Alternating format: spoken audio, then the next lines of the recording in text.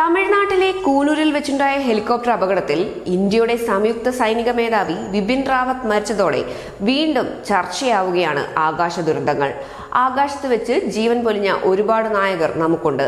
അതിൽ പലതും ഇന്ത്യയുടെ നക്ഷത്രങ്ങളായിരുന്നു. സ്വതന്ത്ര ഇന്ത്യയുടെ ചരിത്രത്തിൽ ആദ്യമായി വിമാന ദുരന്തത്തിൽ മരിച്ചത് നമ്മുടെ മുൻ പ്രധാനമന്ത്രി ഇന്ദിരാഗാന്ധിയുടെ മകൻ സഞ്ജയ് ഗാന്ധിയാണ്. അദ്ദേഹം ഒരു പൈലറ്റും ഫ്ലൈയിങ് ക്ലബിലെ അംഗവുമായിരുന്നു. ആയിരത്തി തൊള്ളായിരത്തി എൺപത് ജൂൺ ഇരുപത്തിമൂന്നിനാണ് സഞ്ജയ് സഞ്ചരിച്ച വിമാനം ആകാശത്ത് വെച്ച് തകർന്നത്. പിറ്റ്സ് എസ് ടു എ എന്ന ടു സീറ്റർ വിമാനമാണ് അന്ന് തകർന്നത്. അക്കാലത്തെ ഏറ്റവും ആധുനികമായ ആ വിമാനം പറത്താനുള്ള പരിചയം ഇല്ലാതിരുന്നിട്ടും സഞ്ജയ് അതിന്റെ പൈലറ്റായതാണ് അപകടത്തിന്റെ കാരണമെന്നാണ് കരുതപ്പെടുന്നത്. മുതിർന്ന കോൺഗ്രസ് നേതാവും മുൻ റെയിൽവേ മന്ത്രിയുമായിരുന്ന മാധവ് റാവ് സിന്ധ്യ രണ്ടായിരത്തി ഒന്നിലാണ് വിമാനാപകടത്തിൽ കൊല്ലപ്പെട്ടത്. ഒരു റാലിയെ അഭിസംബോധന ചെയ്യാൻ കാൺപൂരിലേക്ക് പോകുന്നതിനിടെയായിരുന്നു അപകടം. ഒമ്പത് തവണ ലോക്സഭാംഗമായിരുന്നു അദ്ദേഹം. പിന്നീട് ആകാശ ദുരന്തത്തിൽ മരിച്ച പ്രമുഖൻ ജി എം സി ബാലയോഗിയാണ്.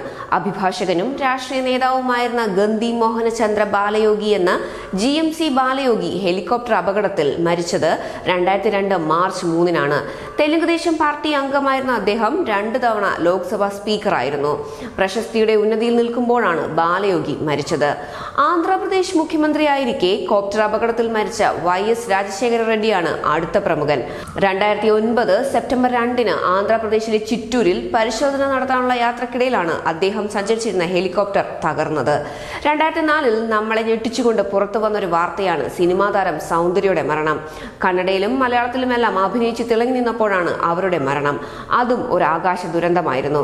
സൗന്ദര്യ ഉൾപ്പെടെ നാലു പേരാണ് അന്ന് മരിച്ചത്. ഇവർ സഞ്ചരിച്ച ഹെലികോപ്റ്റർ പൊട്ടിത്തെറിക്കുകയായിരുന്നു. ഇനിയുമുണ്ട് പ്രമുഖർ. സുഭാഷ് ചന്ദ്രബോസ് ഹോമി ജെ ഭാവ തുടങ്ങിയവരെല്ലാം മരിച്ചത് ആകാശ ദുരന്തങ്ങളിലാണ്. പക്ഷേ അത് നമുക്ക് സ്വാതന്ത്ര്യം ലഭിക്കുന്നതിന് മുമ്പാണെന്ന് മാത്രം.